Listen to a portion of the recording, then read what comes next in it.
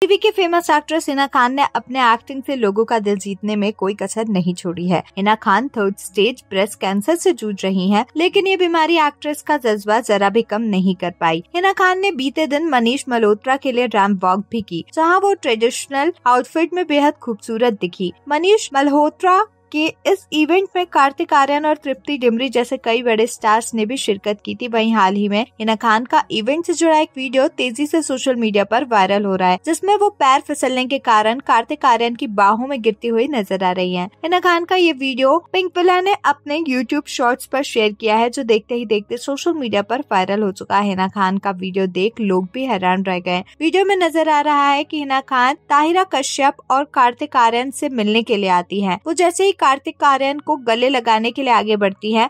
Actress का पैर slip हो जाता है और वो सीधा कार्तिक आर्यन की बाहों में जा गिरती है। बाद में कार्तिक आर्यन भी हिना खान से पूछते नज़र आए कि वो ठीक है या फिर नहीं। हिना खान के इस वीडियो को देखने के बाद अब फैंस अपने रिएक्शन देते हुए नज़र आ रहे यूज़र ने लिखा, क्या लम्हा था यार ये? वही एक दूसरे यूज़र ने लिखा, हिना, आप पर हमें गर्व है। आप जल्दी ठीक हो जाइए। इसी तरह के काफ़ी सारे कॉमेंट्स जो है वो फैंस करते हुए नज़र आ रहे हैं। आपको बता दें, इससे पहले भी हिना खान ने ब्रेस्ट कैंसर के बावजूद रैम वॉक की थी। उन्होंने दुल्हन बनकर राम पर तूफ़ान भी मचा दिया था। वह आपका हिना खान और कार्तिक आर्यन के सामने आ रहे इस वीडियो पर क्या कुछ है कहना, हमें कमेंट्स में ज़रूर बताएँ। ऐसी ही अपडेट्स के लिए हमारे चैनल को सब्सक्राइब करें।